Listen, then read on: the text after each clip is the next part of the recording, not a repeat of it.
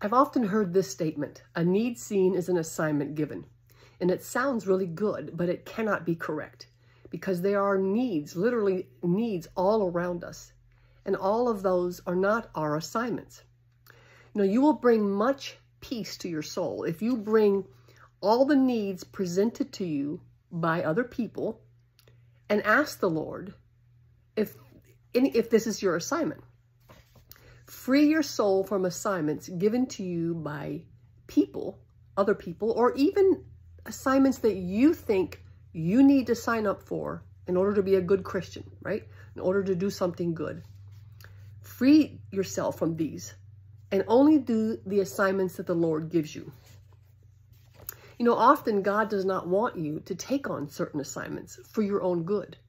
Sometimes, you know, it, it's to protect you from something, to protect your health, to protect your time with him, to protect you from, you know, there's something not good in that assignment for you. It, you know, it, it'll cause frustration or something.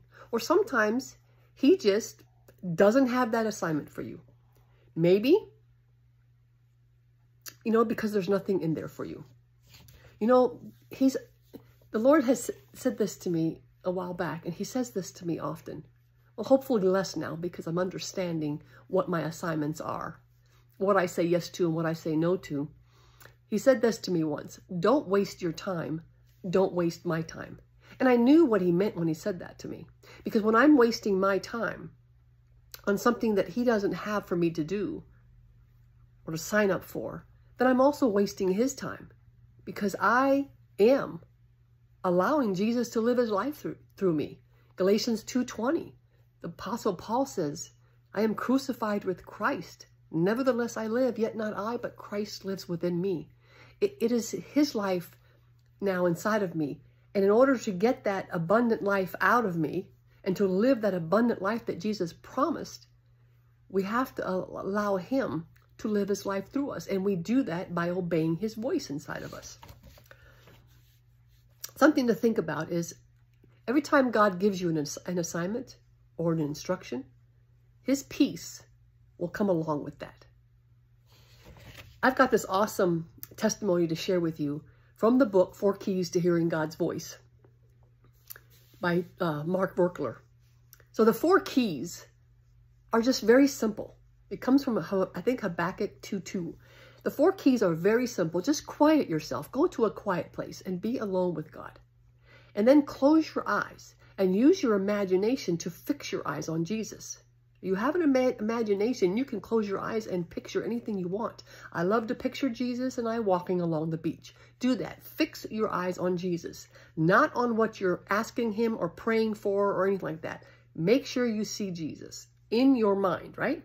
And then ask him your question or say something to him. And then quiet yourself and pay attention to the spontaneous thoughts that you receive after that. And obviously the fourth key is to write those thoughts down. They're going to be flowing in your mind. Just write what you hear. And yes, even the enemy speaks to you from the spiritual realm like that. And to test, to test it is very easy. James 3.17 is one of them. The wisdom from above is first peaceable, easy to be entreated. Look at James 3.17. Pay attention to how those words, honestly, when you look at those words afterward, when you read what you wrote, the flow of the spontaneous thoughts that came into your mind, look at it and see if it is aligned with God's word or is it God's heart? Those are the, it's very easy.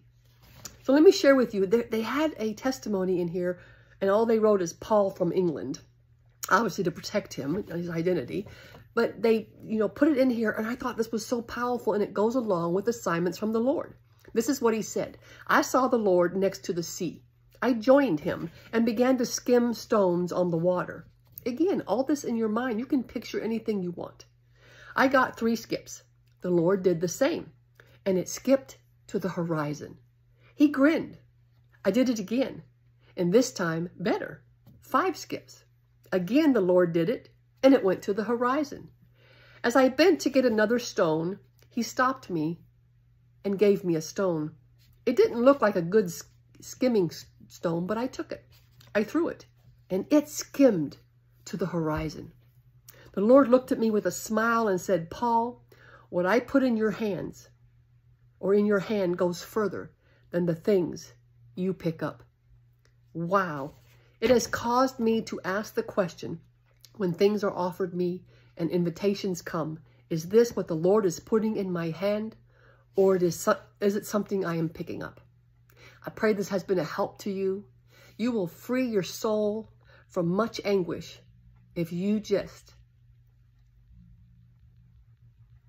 you know, just receive your assignments, your instructions from the Lord instead of from other people. And if when other people bring things to you, take it to the Lord and say, is this for me? And then do what he says.